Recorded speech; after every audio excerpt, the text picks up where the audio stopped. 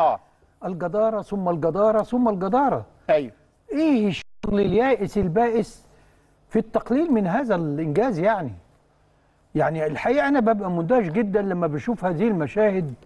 يعني عكس الشعب كله اللي عايش حالة ومش شعب. تعال شوف الأهلي كما سنراه الآن في عيون ال- العالم كله عاملة إزاي والأشقاء عامل إزاي. ولكن أن يأتي الامتعاض والضيق ممن ينتسبون إلينا. لا لا ده حاجة تعبانة قوي طيب